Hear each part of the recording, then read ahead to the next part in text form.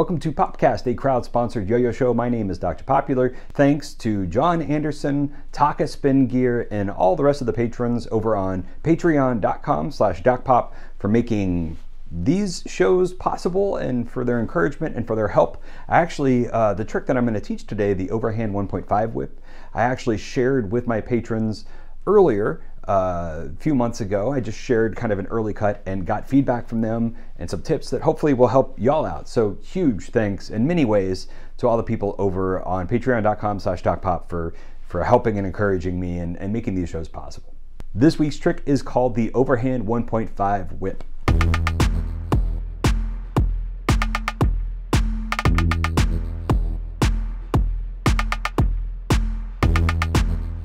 So the thing about the overhand 1.5 mount is basically you are throwing a breakaway and letting the yo-yo come over your hand. So you are throwing the breakaway, letting the yo-yo travel over your hand, and right as you do, you're gonna do that whip. So when I first created the overhand 1.5 whip, uh, this actually wasn't what I was trying to do. What I was trying to do was uh, creating basically something that would put me here uh, which looks like boop. And the funny thing is, I couldn't do it. I thought that trick was impossible. So instead, I just kind of got really good at doing this guy, which is dope. And I couldn't then figure out many tricks other than doing it with freehand. With freehand, it makes a lot of sense, um, you know, because you then let the counterweight go. But when, when doing the overhand whip, I just kind of got stuck, you know, just like, well, I don't know what to do next. You know, you can kind of bounce it or something. Uh, but in all honesty, my original goal for creating this trick was actually trying to do this overhand whip, which I thought was just impossible, you know, like I'm not hitting it now. so let's kind of break this down into steps so you can figure out. Like I said, it's gonna start with that breakaway. Let's kind of think about this by starting on a trapeze.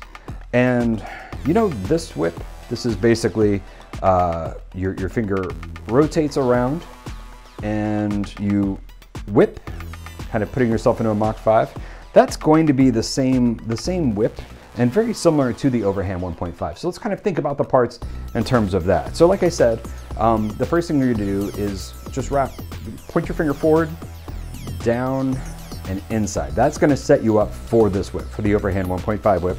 One thing that really helps me is keeping that string distance really close to the tip of my pointer finger. So uh, some people might be kind of like here, where you actually want it here. The further out, the bigger that whip is gonna be.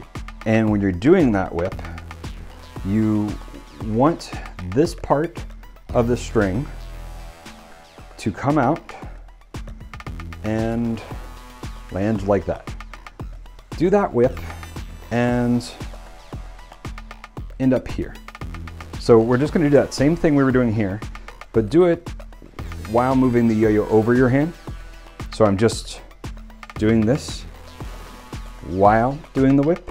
Once you've landed that whip, you can just let go. And this is basically what we're gonna land on when we do the overhand 1.5. So it is just basically kind of like a one-handed trapeze.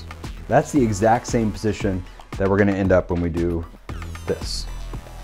If I didn't do that roll and I just did the whip, whoops, it's hard not to do that roll. It looks like that.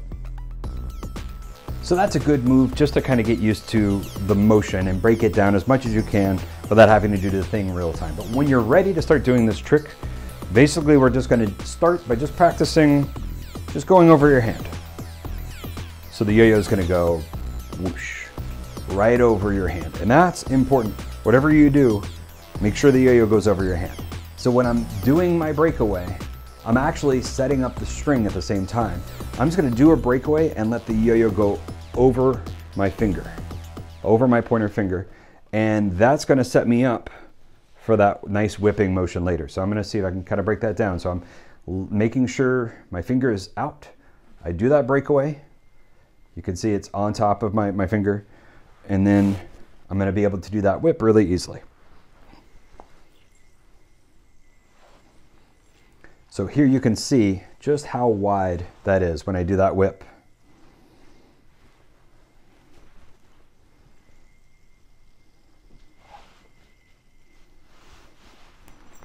A nice flourish you can do if you really want to be baller is a forward rejection and then try to catch it back on the yo-yo. So this trick is just a ton of practice. This is like uh, 18 years of practice for me, and I guarantee you when I first tried hitting it, it didn't look anything like it does now. Uh, so hang in there if you're having trouble with this trick. You know, take some breaks or whatever. But this is, you know, just have a cup of coffee in one hand and just practice this whip. You know, see if you can get it. Yes, this is coffee. And just kind of as an example, um, I recently tried relearning this whip, but from the other direction. Just, just for shiggles. I thought it would be really fun to kind of go through that again. And you know what? It was hella hard. It reminded me of what it was like when I first made the trick up. Uh, it was very frustrating. you know, here I am kind of hitting this thing all the time. And, you know, just going the other way, it was like, oh yeah, right. I had to kind of learn how to set up the string again and how to do all that stuff again. Uh, if you're interested, just because I'm mentioning it, usually you go here when you're doing this whip. So obviously when you're doing the whip from this direction, you want to go here, right? This is how you want it to end. Just like that.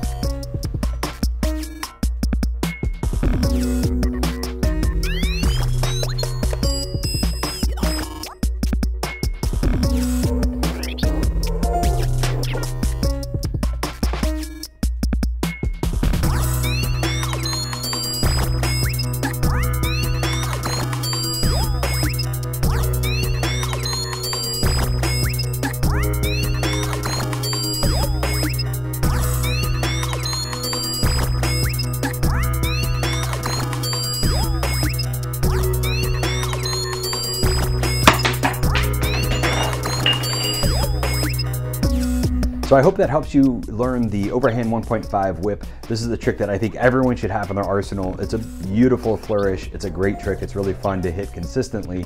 And uh, yeah, if you end up learning this trick and you want to share it on Instagram, uh, tag me at DocPop, or you can tag hashtag Popcast Yo-Yo. That's a great way for us to see uh, what tricks we're all learning, and you know we can kind of share tricks from from previous podcasts and how we've kind of changed them. So hashtag Popcast Yo-Yo is another great place to share stuff. So I've had a lot of fun stuff happening lately. We went uh, camping for the first time, uh, our first time leaving the county since the pandemic. It was a really awesome experience just to spend four or five days. Uh, I got hella tanned. Uh, some might even say sunburned, but I had a great time. Didn't get any ticks, so that's a good sign. Maybe maybe things are going my way. So I have a bunch of yo-yo stuff in the works. We just came out with the Day Tripper, and uh, by the time you're seeing this video, we're probably all sold out of Day Trippers. They were uh, extremely popular. Um, these are made in America, made by One Drop. Uh, they are slim versions of the Weekender. The Weekender is my modern responsive yo-yo, ultralight, really like a kind of a really fun yo-yo to do stalls and stuff with. And I teamed up with Jeremy from Zipline Strings to do the Day Tripper. He did a, a batch of strings for them. Um, we both had them on our stores. Those are probably, like I said, sold out. That was a crazy long wait trying to get uh, everything. There was weird shortages and stuff that just made it very difficult to get out. But we're super glad that people finally have those and they seem to like them. That was a fun project. I don't know if we're going to do another run again. I think chances are really good that that's just that's just it. The day tripper, whoever got one, got one, and, and that's it. But we'll, we'll see. Only time can tell. So the Sean Exploder is a V-shaped yo-yo, kind of an extreme competition yo-yo, very different than the yo-yos I usually do, which are organic, uh, very rounded. This is very hard edges. Um, I reached out to Sean Garcia, who's an amazing photographer, and I said, hey, Sean, if we could do a yo-yo together, what would you want to do? And he sent me the sketch that's on this yo-yo. Like it was like 30 minutes later, he sent me the sketch. Uh, and basically this is a yo-yo that's, I mean, it's a fun playing yo-yo and it's got a lot going on, but it's designed to be photographed. It's designed to take pretty photos. And what I mean by that is Sean came up with this idea of doing these uh, these tiered edges, these kind of hard edges, because the hard edges are going to pick up light better. They're going to uh, they're to show more distinctly the, the, the light and the shadow versus kind of a rounded yo-yo. And to kind of complement that, to kind of go along with that, we came up with this idea of doing like a really smooth bowl on the inside. Uh, so this is like kind of this organic round, really fun for finger spins. Um, and then this hard, you know, crystalline kind of shape on the outside. This is a fun yo-yo. This has been uh, I don't usually like V-shaped yo-yos. I, you know, I almost always go for the organics, but this yo-yo has been super fun to throw, um, and I can't wait to get this out. It's the first time I've collaborated with a, another like yo-yoer, kind of like released a signature yo-yo for someone else. And speaking of collaborations and the Sean Exploder, one of the neat things that's gonna come with the Sean Exploder is a yo-yo stand. I've never done designer yo-yo stands before, but basically this is a yo-yo stand with uh, Sean uh, on one side taking a photo and myself on the other side blowing up the yo-yo. Sean is really known for his exploded yo-yo photography where it looks like a yo-yo is kind of floating, there's the bearing, the pads, everything's kind of exploded out. Uh, and so I wanted to create kind of a homage to that.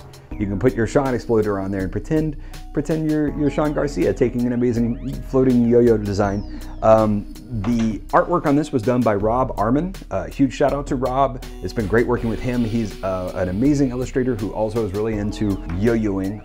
And then one other collaboration that I might be coming out around the time of this video, it might take a couple more months, is the End Part 2, which is a yo-yo project I'm doing with uh, round spinning objects. Basically, this is a tribute to the end, and this is just the prototype. Uh, the uh, the classic, organic, just nice, beautiful. I got to do art uh, for the packaging and worked really closely on just kind of making sure we we we gave uh, a nice nod to the original The End while you know updating certain parts of it. This is going to be an amazing yo-yo. Round spinning objects is totally in control of this project, so you'll have to follow them on Instagram to find out when this is happening. But the end part two, huh? It's kind of a funny name, right? Part two, the end again. I'm kind of hoping that uh, I'll be able to get together with the end crew, the uh, original Yes Absolutely folks, Phil Cox and uh, Nick Correa, who, who did the modifications for us, and kind of do an oral history of the end, you know, the original end, because there's a lot of weird, cool stuff that happened with that. It's the first yo-yo with Schmoove grooves. Um, it was it was a fun project to work on, and I definitely want to kind of like capture that history somewhere. So maybe in a future video we'll we'll do that. So that's it for this episode of Popcast. The overhand 1.5 whip is one of my favorite tricks. It's a trick that I've wanted to capture for a long time, but it's kind of intimidating to teach.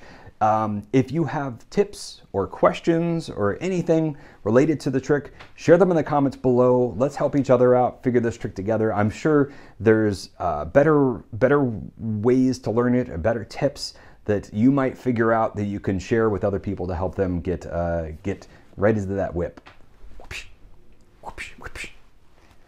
Thanks for watching. We will see you in a month.